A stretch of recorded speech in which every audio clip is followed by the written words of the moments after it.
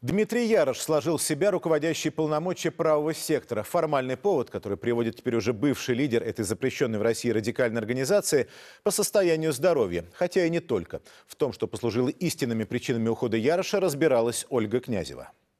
Он называет себя профессиональным революционером, заявляет, что далек от политики, но при этом не исключает участие в выборах президента Украины. Националист Дмитрий Ярош больше не лидер запрещенного в России правого сектора.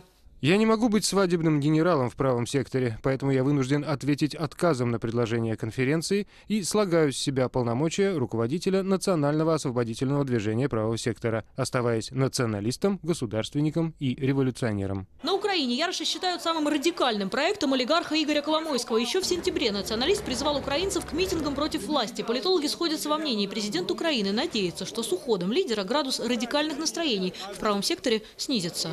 Ну, очевидно, что, скорее всего, было определенное давление на Яроша со стороны э, Порошенко через силовиков. Порошенко прекрасно понимал, что эти люди, они очень, э, я имею в виду, неконтролируемые им нацисты украинские, они будут представлять угрозу, в первую очередь, для него самого.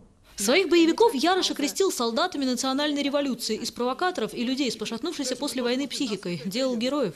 Буквально сутки назад эти так называемые герои ворвались в здание Горсовета Мелитополя в Запорожской области. Боевики с оружием блокировали работу депутатов и настаивали на лишении должностей представителей оппозиционного блока.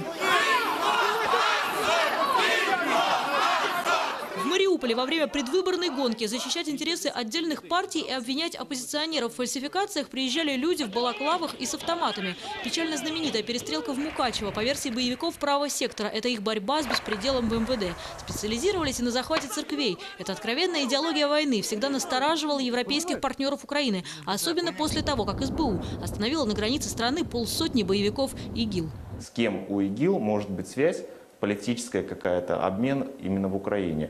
И самый вероятный кандидат для этой связи является правый сектор. Сегодня Европейский Союз требует примирения в Украине, окончания войны, потому что эта война сегодня угрожает безопасности уже Европейского Союза. И поэтому всякие самые одиозные организации типа правого сектора будут потихонечку убираться с политической сцены вообще. Дмитрий Ярош утверждает, уход с должности связан с разногласиями внутри организации. Одиозного лидера сравнивают со Степаном Бандерой. Но факт отставки говорит об обратном. В 40 году похожим образом лишился власти конкурент Бандеры, другой идеолог организации украинских националистов Андрей Мельник. А Степан Бандера собрал под своими флагами самых ярых радикалов. Теперь переформатирование предстоит и современным украинским националистам. Флаги, запрещенные в России организации «Правый сектор», неизменные декорации майданов и митингов против власти на Украине. Завтра в Киеве их может стать гораздо больше. Если радикалов не устроит кандидатура нового лидера партии, они приедут сюда со всей страны. Ольга Князева, Павел Матвеев Анна Ток. Первый канал. Киев.